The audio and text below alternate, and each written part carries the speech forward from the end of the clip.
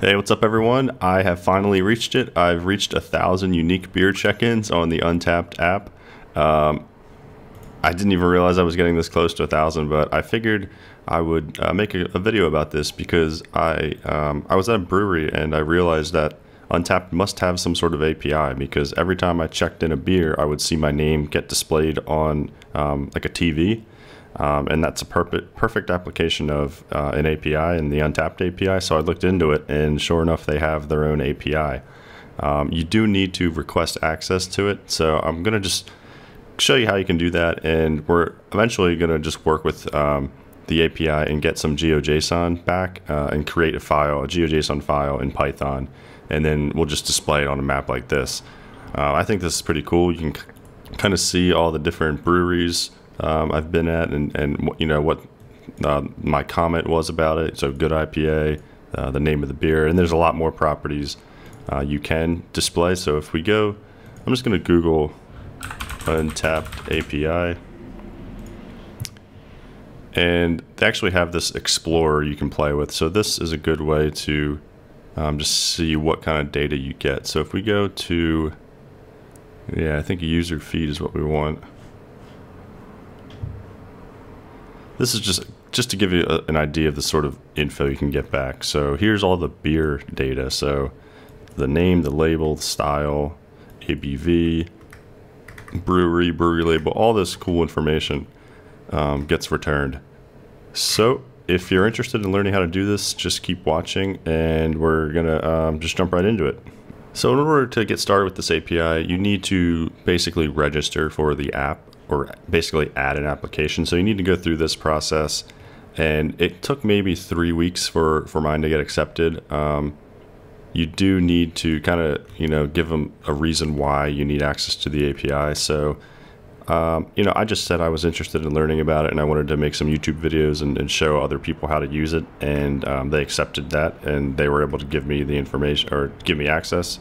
Um, so, yeah, just fill this out and register and then kind of just wait.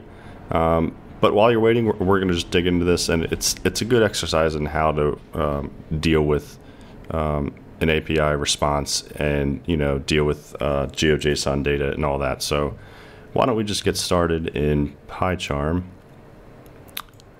And I'm just going to create a new Python file. Oops, not HTML. New Python. And let's just call it untappd API. And before I forget, let me make this bigger. So we'll go into presentation mode. All right, we're gonna need a few imports. So actually, let me get out of presentation mode. We're gonna need to make sure we have a few things installed. So open up your terminal here, and however you install um, packages, I'm using pip here because I'm using a virtual environment in Python, but just install, we're gonna need requests so just pip install requests and then pip install, we're gonna need GeoJSON. So pip install GeoJSON, and you can see I already have these installed, but just wanted to show you how you would have to do that too. Um, all right, so let's head back into presentation mode and let's go ahead and import requests. And then from GeoJSON, we're importing point feature feature collection, and dump. So this is not 100% necessary. It just makes it really simple to create a GeoJSON file. Uh, we could construct it ourselves manually with code, but it would be a little bit more annoying to do that. And you know, this is heavily supported, and a lot of people use it. So why reinvent the wheel? We'll just use that. All right. So what we're going to need now is our client ID. Client ID and client secret. So this information actually gets supplied um, on that web page I was showing you a second ago. Once you get access to the API, you'll have information, the client ID and client secret. Uh, it's on this page. I'm not going to click it because it contains uh, sensitive information, but just trust me, once you get access to the API, you'll have that information. And what I'm going to do in this video, I'm actually going to get out of this presentation mode again, and I'm going to make a new file, and I'm going to store that credential information in that file.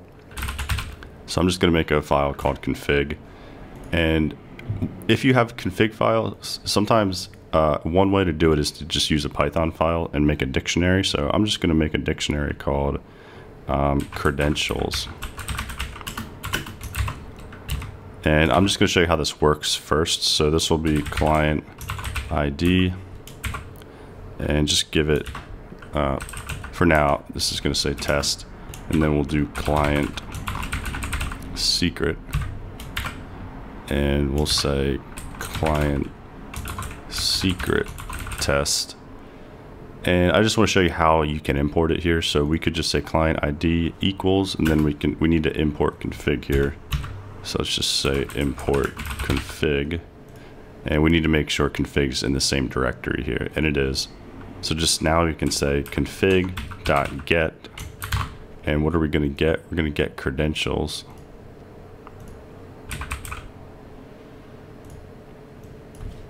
actually like that and let's say we want client ID to be client ID so since that's already um, in a dictionary like that we should be able to do just do that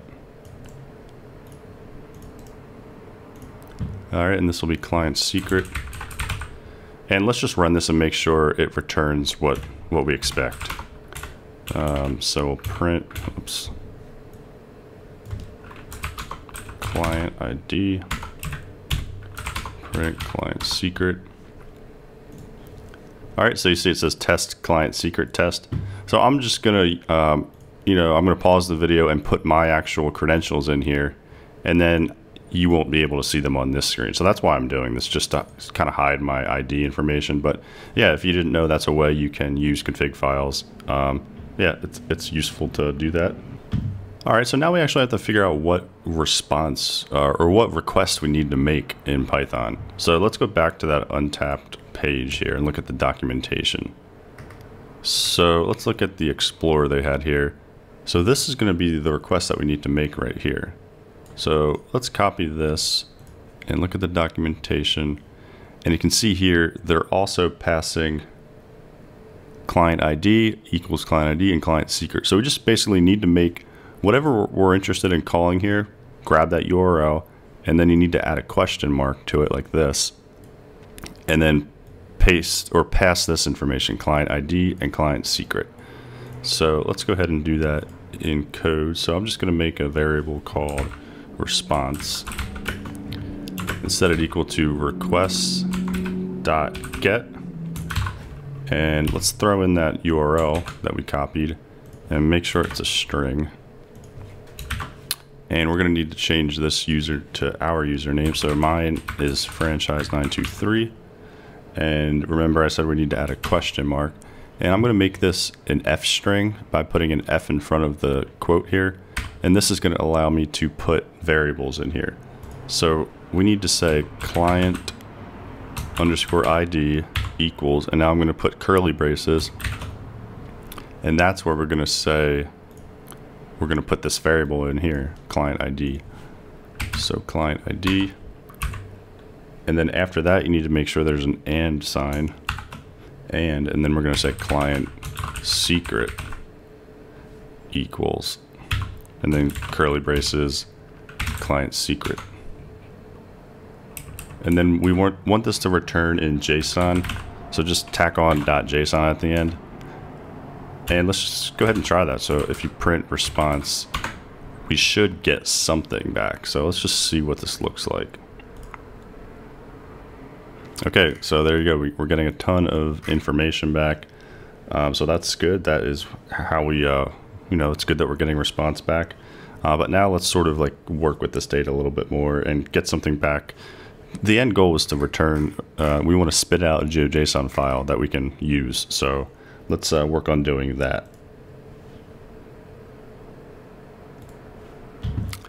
All right, uh, it looks like I forgot to go back into presentation mode. I always do that, so let's go back into presentation mode. All right, let's get rid of this response now. Actually, we can, eh, let's get rid of it. Let's Actually, no, we need to print that response. We need to kind of look at this a little bit more. Is there a way to run it? Okay, there we go. Yeah, that's cool.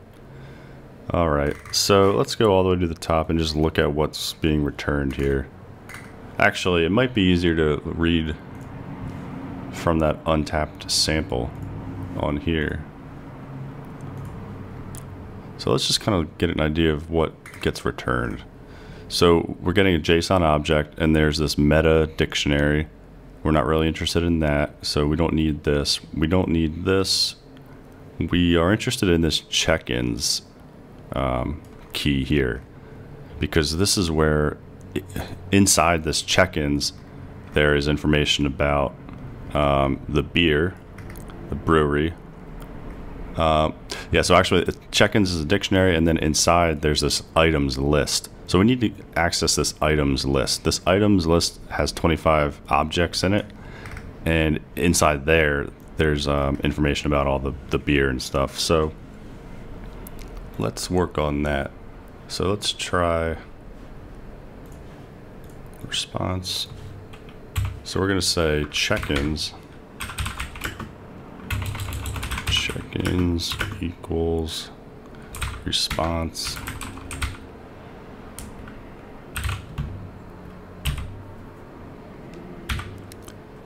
Response. Let's go back to this page. So you see that check-ins is actually inside this response um, key so that's why we have to do it like that. Response. And then it would be check-ins. And then I'm pretty sure check-ins. Then we want items. So let's do that. Items. Alright so let's just print check-ins now. Let's see what that looks like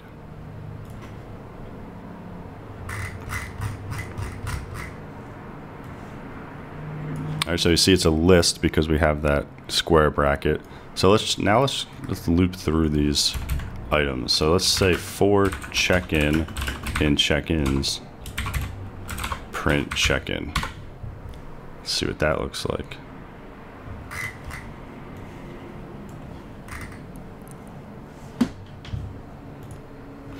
Alright, so we still are getting a lot of data back. So we need to kind of narrow this down even more. So let's look, it's kind of hard to look at it this way, so that's why I keep going back to this page. So we have check-ins, and then we're getting items, and we're looping through these items one by one. So, and you can see everything in here is, uh, it's a dictionary, so we can call um, these pieces of information. So let's, let's grab check-in comment and see how that all works. So let's say, make a new variable called check-in comment equals, and we're going to do check-in dot get, and we're going to get check-in comment. Did I spell that right? Check-in. I think so. So let's now let's just print that out. Check-in comment and wow, let me get rid of this. Okay, so now we're just getting back the check-in comment that I, I, when I, you know, when I actually had the beer and I typed it in on my phone and checked it in, this is the comment that I typed in. So that's cool. So we're getting that piece of information. So let's go back to what we had on here. So I was only displaying three things in this GeoJSON, the venue name, the beer name, and the check-in comment. Um, but we, we really can display any of this information. Um, but yeah, let's go ahead and get the beer name next. So you can see here, we're still in the items array and inside this, there's a bunch of dictionaries, but you can see beer is its own dictionary. It's not just a key pair inside um, items. So we're gonna have to reference the beer name a little bit differently. So let's work on getting that. So beer name equals check-in dot get and we're gonna have to get beer and then we're also gonna have to get beer name.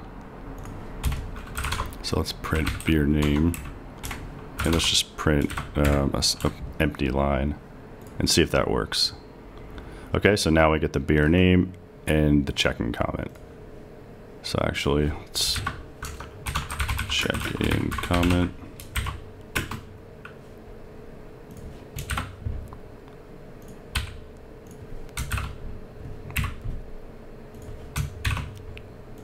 Just copy that and do the same thing for beer. Where's paste? There we go. Check in comment. This will be beer name.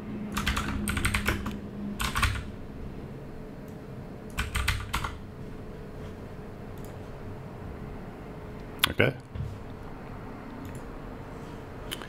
And I just want to make sure this was clear again. So we have items, which is a list or also known as an array.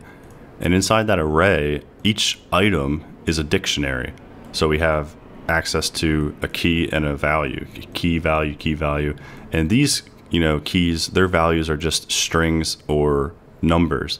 Um, but when we get down to some of these other um, keys, like user, for example, this this key, its value is actually a dictionary in itself. Same with the beer. So that's why we had to reference it. Um, we had to like dig down a little bit further to, to access that data. Um, just wanted to clear that up.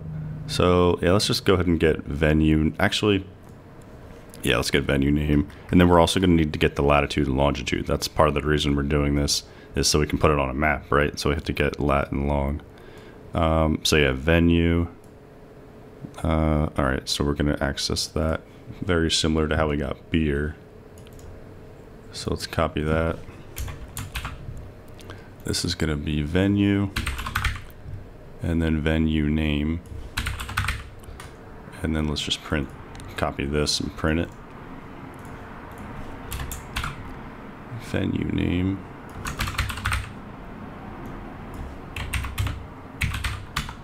Oops. Ven. Oh, I called it. I didn't rename it here. Venue. See if that works. All right. So, yeah, Untappd at home. That's just um, if you check in a beer at home, that's what your venue actually is. So you can see here Stone Brewing, Crush and Brew. That's cool. All right, last thing we need to do is get the lat and long. So let's make a lat variable and long variable and set it equal to something similar to this. And let's just inspect that response again. So you see here, location is its own um, key here in, inside this, um, inside the check-ins. So yeah, we just need to access location dot lat. So let's try that. Equals location dot lat location. Can't remember if it's lawn or long. It's LNG. Okay. LNG. Just copy this. So lat long lat long. All right let's try this. Hmm okay we are missing something here. So it's probably we're referencing it. I think location okay. Location is actually within this brewery key. So there's brewery and then that's a dictionary in itself. Yeah, so you can see location's actually within brewery. So we need to access it like brewery, then location. Makes sense. Check in, dot get. It's just gonna have to say brewery.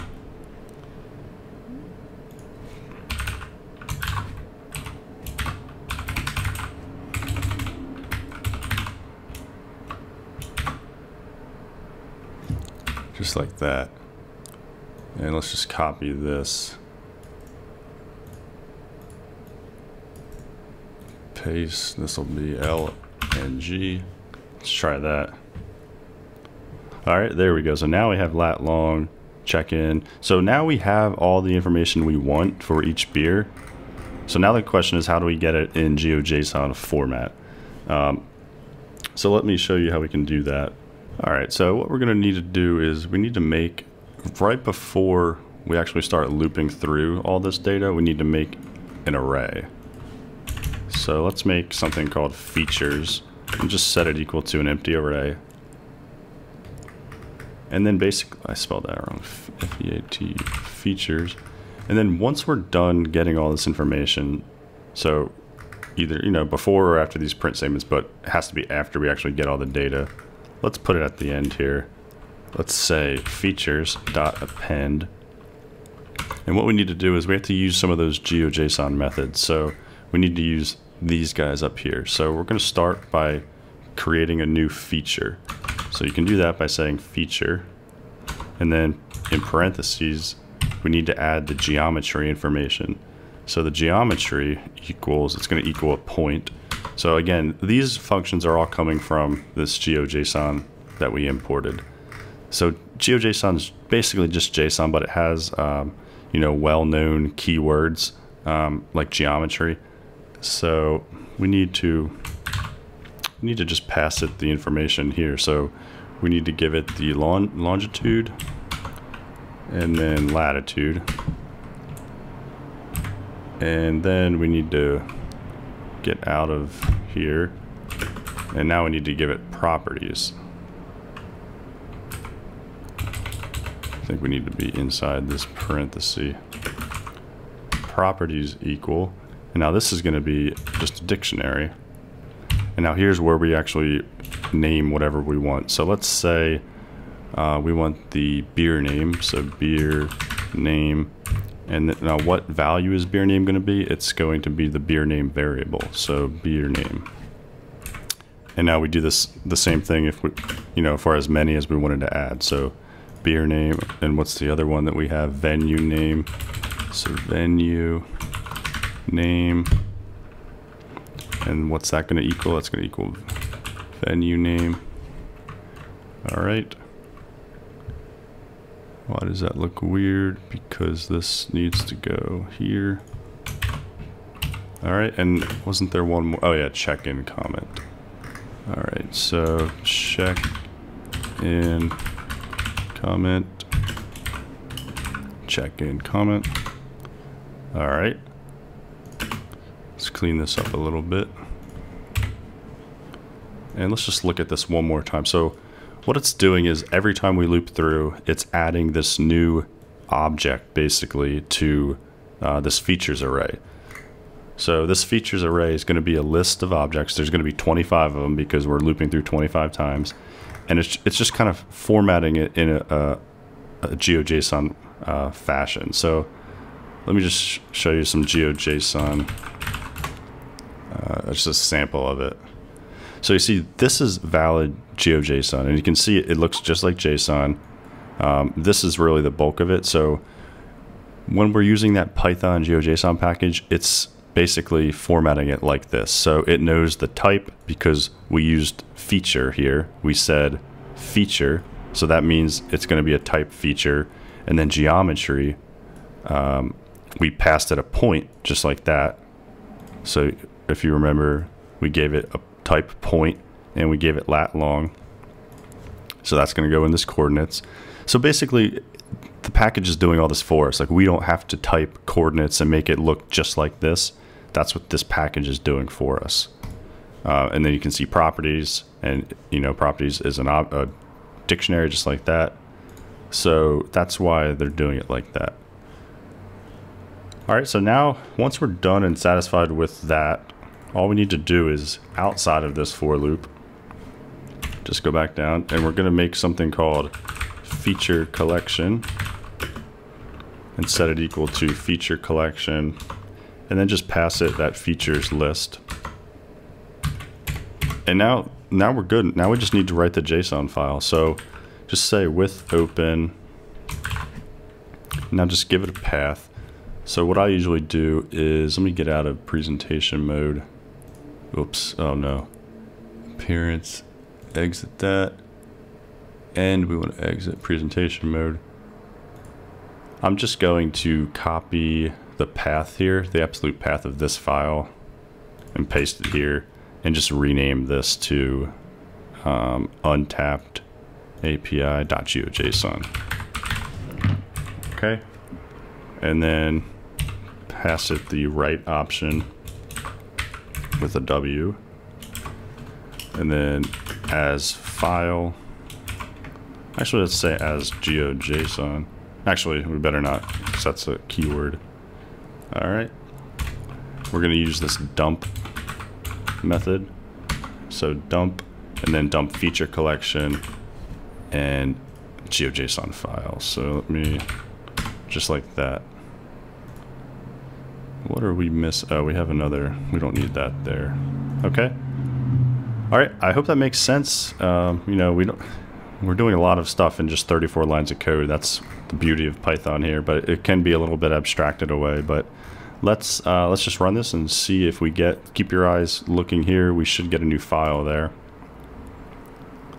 No, we got some type of error. So let me look at what we did wrong here. Something's wrong with the float object is not iterable. Yeah, it crashed right away. So coordinates, something's wrong with the coordinates. Long lat. Maybe that needs to be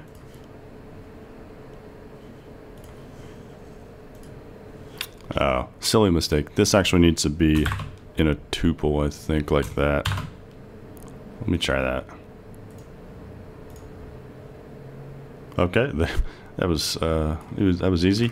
Now you can see we have this new file here, and if we open it, it looks like valid GeoJSON to me. So let's go ahead and just Control A to select it all, then Control C. And let's go back to the browser here. And I've been using this GeoJSON website, so just type in like GeoJSON map. And yeah, this geojson.io. This just lets you um, paste in valid GeoJSON and it'll just display it on the map. And I think it's pretty cool. So there you go. We pasted it in and we're getting all these check-ins. Um, oh yeah, so we're only getting, I think by default, maybe 25 responses here.